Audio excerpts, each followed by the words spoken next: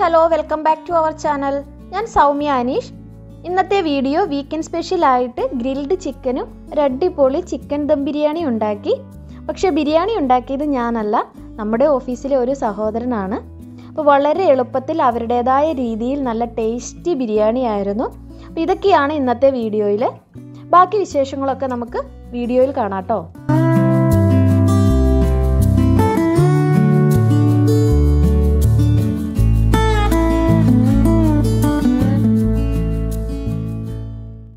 നമ്മൾ chicken grill ചെയ്യുന്നത് charcoal കത്തിച്ചല്ല ഇലക്ട്രിക് ഗ്രില്ലിലാണ് അപ്പോൾ ഇതിലുണ്ടാക്കുമ്പോൾ ഇത്തിരി ടൈം കൂടുതൽ എടുക്കും. പതിനഞ്ച് ഇരുപത് മിനിറ്റ് കൂടുതൽ എടുക്കുന്നേ ഉള്ളൂ. പിന്നെ നമുക്ക് ആ ട്രേയിൽ ഒരു ലിറ്ററോളം വെള്ളം കോയിൽ തട്ടാതെ നമ്മൾ ഒഴിച്ചു കൊടുക്കണം. കോയിലൊട്ടും വെള്ളം ആകരുത്. എന്നിട്ട് വേണം നമ്മൾ ഓൺ ചെയ്ത് കൊടുക്കാൻ. ഒരു അഞ്ച് മിനിറ്റ് ഓണാക്കി വെച്ചിട്ടുണ്ടെങ്കിൽ ആ കോയിൽ നല്ല റെഡ് കളറാകും അപ്പോൾ ഇത് നല്ല റെഡ് കളർ ആയിട്ടുണ്ട്. അപ്പോൾ ഇതിന്റെ മുകളിലേക്ക് കുറച്ച് ഒലിവ് ഓയിൽ ഒന്ന് ബ്രഷ് ചെയ്ത് കൊടുക്കുക അപ്പോൾ ഞങ്ങൾ തലേ ദിവസം തന്നെ ചിക്കൻ മസാലയൊക്കെ പുരട്ടി മാരിനേറ്റ് ചെയ്യാൻ വെച്ചിരുന്നു. അപ്പോൾ അത് അതിന്റെ മുകളിലേക്ക് വെച്ച് കൊടുത്തിട്ടുണ്ട്.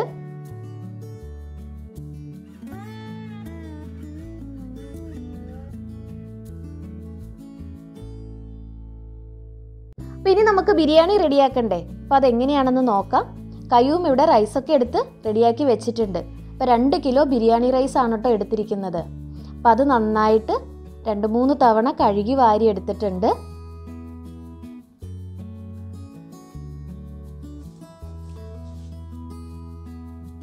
അപ്പോൾ അരിക്ക് മുകളിൽ വെള്ളം നിൽക്കാൻ പാകത്തിന് ഒഴിച്ചിട്ടുണ്ട്.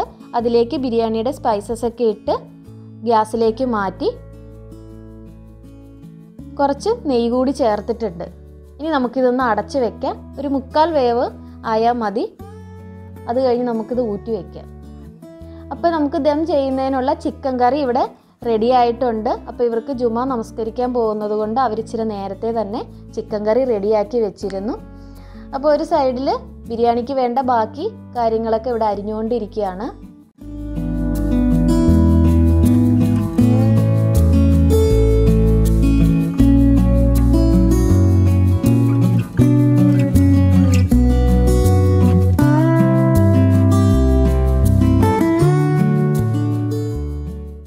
ചിക്കൻ കുറച്ച് വെള്ളം കൂടി വറ്റിച്ചെടുക്കണമായിരുന്നു. അപ്പോൾ അതിന് വേണ്ടിയിട്ട് ഗ്യാസിലേക്ക് മാറ്റിയിട്ടുണ്ട്. അപ്പോൾ അതിലേക്ക് അവർ കുറച്ച് മല്ലിച്ചപ്പ് ചെറുതായി അരിഞ്ഞതുകൂടി ചേർത്ത് മൂടി വെച്ചിട്ടുണ്ട്. അപ്പോൾ അതിനിടയ്ക്ക് അഞ്ചേട്ടൻ ഗ്രില്ല് ചെയ്യാൻ വെച്ചിരിക്കുന്ന ചിക്കനൊക്കെ ഒന്ന് തിരിച്ചിട്ട് കൊടുക്കുകയാണ്.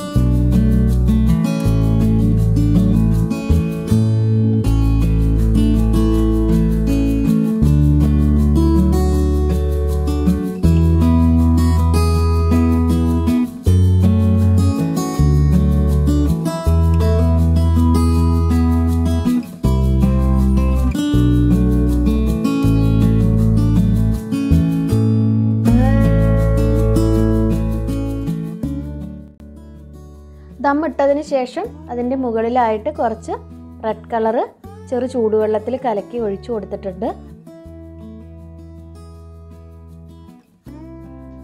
ഇനി അതൊരു അനു അലൂമിനിയം ഫോയിൽ വെച്ച് നന്നായിട്ട് കവർ ചെയ്ത് ഗ്യാസിലേക്ക് മാറ്റി ഇതൊരു ലോ ഫ്ലെയിമിൽ വെച്ച് കൊടുത്തിട്ടുണ്ട്.